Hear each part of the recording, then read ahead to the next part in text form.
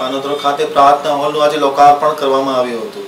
પાનોદરાની સરકારી હોસ્પિટલમાં એક સમારંભ યોજાયો હતો, જેમાં આ લોકાર્પણ કરવામાં આવ્યું હતું. હવે જોઈએ પાનોતરથી મારા પ્રતિનિધિ મહેશ ઠક્કરનો અહેવાલ. લખપત તાલુકાના પાનોતરો ખાતે પ્રાર્થના હોલનું આજે લોકાર્પણ કરવામાં આવ્યું હતું.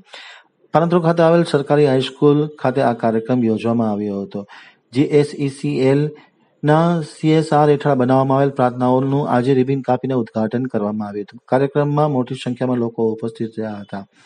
ખાસ કરીને પ્રાર્થનાઓનું ઉદઘાટન થતાની સાથે જ વિદ્યાર્થીઓને એક સારી સુવિધા મળશે તેવો આશાવાદ પણ વાયડી બ્રહ્મભટ્ટ દ્વારા વ્યક્ત કરવામાં આવ્યો હતો. ઉપસ્થિત રહેલા મહેમાનોનું ખાસ કરીને શાળાના સંચાલકો દ્વારા અને આયોજકો દ્વારા સ્વાગત કરવામાં આવ્યું હતું.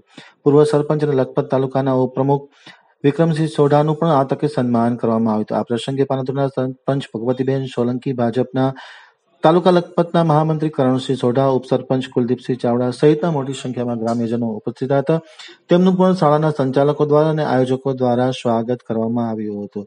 આ પ્રસંગે ઉપસ્થિત રહેલા વાયડી બ્રહ્મભટ્ટે પોતાના પ્રાસંગિક પ્રવચનમાં જણાવ્યું હતું કે સરકાર દ્વારા આવા પછાત વિસ્તારોમાં અનેકવિધ સુવિધાઓ આપવા માટે મક્કમ બનતી હોય છે અને પોતાનું ઉત્તરદાયિત્વ નિભાવતી હોય છે. આજે પ્રાર્થના હોલ વિધિવત રીતે લોકાર્પણ થતાની સાથે જ શાળાના વિદ્યાર્થીઓને ખૂબ ઉપયોગી સુવિધા ઉપલબ્ધ થશે તેવી પણ આશાવાદ વ્યક્ત કર્યો હતો.